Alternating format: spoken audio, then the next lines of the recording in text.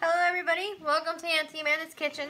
Today, what I'm making is a very simple, easy way of making shepherd's pie. Shepherd's pie has three layers. There's the meat, then you'll have whatever veggies you would like. Today I'm putting on corn and green beans, and then you have mashed potatoes. And after that, you can put cheese on top if you would like.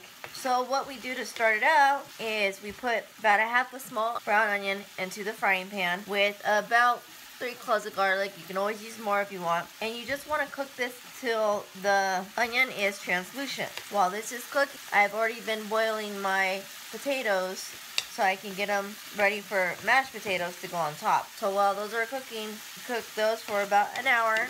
But in the middle of that, start preparing your meat. So if you look at these onions, you can tell it's see-through.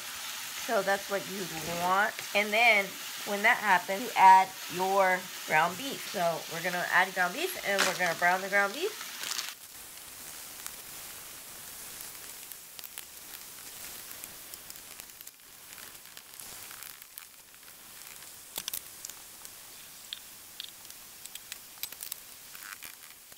Okay, as you can see, the the meat is now getting brown and finishing up cooking. While this is finishing up cooking, the potatoes are already done. So what I did is I put it in my standalone mixer. I added about half a cup of butter. It all depends on what, how much butter you want on it. A little bit of salt in it to bring up the flavor. You don't have to add the salt. And once it's done mixing, it'll be ready to go on top. You can add milk or sour cream to it if you'd like. Here is my first layer, which is the ground beef we just cooked in the pan. There are some spaces in here, but that's okay because I'm using two different types of vegetables. I wanted green beans and I also wanted some corn.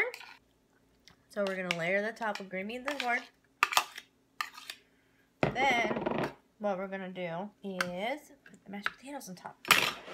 Let's do that.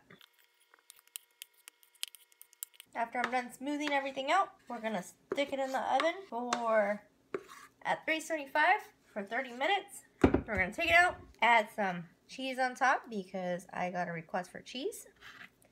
And then after that, uh, we'll bake it for about 15 minutes more until bubbly brown on top. And then we'll have dinner. Be back soon. As soon as this is done baking, I will show you the result. Thank you.